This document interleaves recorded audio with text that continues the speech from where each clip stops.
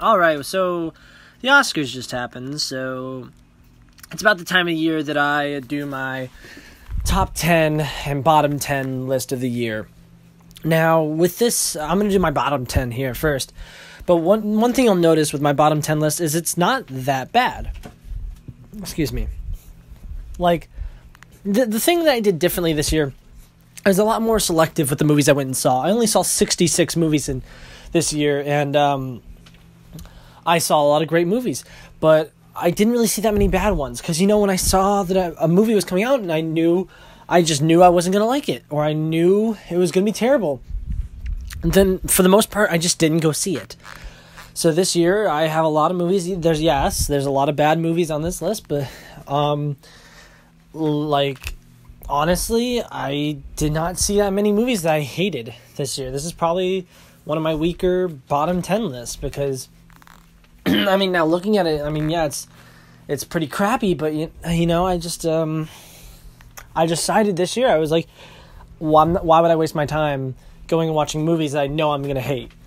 Um but yeah, so uh, without further ado, uh, let me move on to my bottom 10 list. Um again, this is my own um subjective list. Film is entirely subjective. If you liked one of these movies, Godspeed. Honestly, if you liked one of these movies, great. You know what?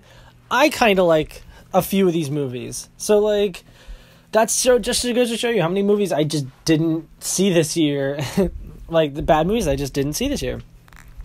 So here we go. um, number 10, I have Baywatch. Now, that just goes to show how of all right of a year this is. I didn't think this movie was terrible. Um, it, it got nominated for a lot of Razzies, but I, I didn't really like. Yes, it was not that great of a comedy, and you know the little chubby kid um, was really cringeworthy, but you know it wasn't that bad. The Rock's really charismatic. Uh, I think Zac Efron did a good job. Alexandra Daddario is fine, um, and she's fine. Uh, the blonde chick, she's really fine, um, and she was good. Um, yes, the the chubby kid is really cringeworthy, but Hannibal Buress is good. Um, it's not terrible, but like it's again, I think this one makes the the cut purely because it's like it had so much potential to be something great. Like it, it, it should have been like Twenty One Jump Street, and it ended up being more like um, not like the opposite. What's the opposite of Twenty One Jump Street? Um, I don't know, but if I come up with it, I'll tell you. Um, moving on to number nine is a movie that just a lot of people liked. Honestly, a lot of people like this movie, but it, honestly, it just infuriated me. Kong Skull Island. I did, I really did not like Kong Skull Island. It's um there's like a bunch of great actors but zero good characters. Um you don't care about any of these characters. They die without any any like of emotion or feeling and you don't care about anybody involved in this movie. The plot's uh, irrelevant. it's dumb. Yes, the special effects are amazing. Yes, Kong's every fight scene is awesome. But honestly, this movie was just extremely underwhelming. Um, and took one of the greatest characters of all time and made a mediocre B movie out of it. And the most the thing that most pissed me off about this movie is how um, they at the end credits like I knew that before the movie was even like came out I knew there was gonna be a Godzilla versus King Kong movie because they told us, and then they have an end credit scene where they're like oh yeah so King Kong's like a whole thing, um, but did you know Godzilla is also a thing and I'm like. Yeah, I know. You told me a couple months ago. I'm not surprised. Like in when Iron Man came out, a, a, few months before they didn't say, "Hey guys, the Avengers is going to be a thing." You know, like it would have made the movie immediately so much better if they would have just said not like not told us that and then let us experience that in the future, like in the theater, because like I didn't need to know a couple months ago. You know how much cooler would have been if everyone would found out in the theater.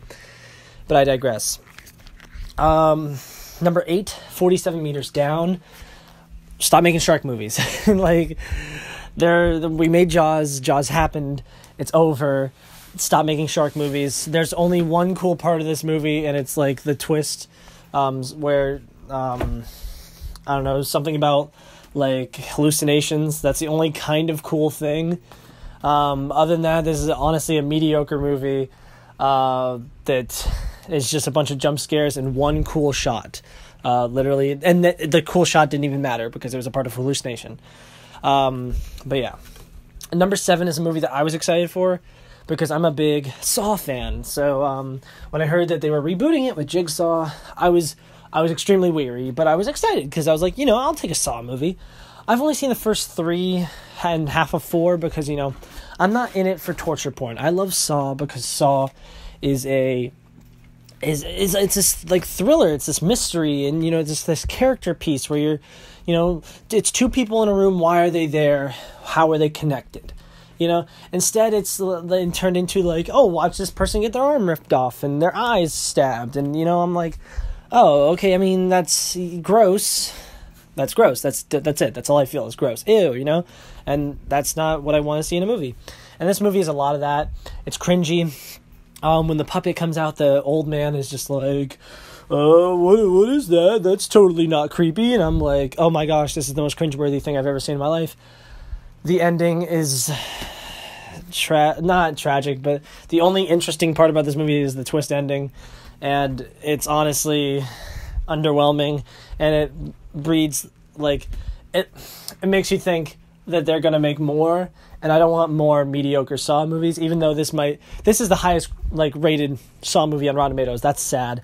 Um, Saw one's so much better, and I this is a franchise that just needs to die. Please. uh, six uh, is a movie that, to be honest, I barely watched. it's called Kidnap. It's it stars Halle Berry and her kid gets kidnapped. I think I don't even I don't even remember because I saw this on the day that like in August. Where was it? Like the sun. You weren't supposed to look at the sun or something. And we went. I went to Universal with my ex girlfriend. Oh, she was my girlfriend at the time, and we saw the movie at the AMC there. And honestly, it was like three o'clock, and I was out. Like, if if I'm watching a movie in the middle of the day, and it makes me fall asleep immediately, that's really bad. Um, this movie is really dumb and stupid. But honestly, who's I don't really even know that because I barely watched it. Five Transformers Five. We this is the same movie that we've been watching five times in a row. It's really bad. I mean, bunch of CGI crap, racism throughout, sexism throughout. Um, I don't want more of these. just stop making Transformers movies, or if you're gonna do it, just take the humans out add a plot, do something, do something different. I don't know, but this movie is garbage and it's too long and I hate it. Number four is The Mummy. Um, the Mummy is terrible. I remember walking out of this movie just absolutely infuriated by it.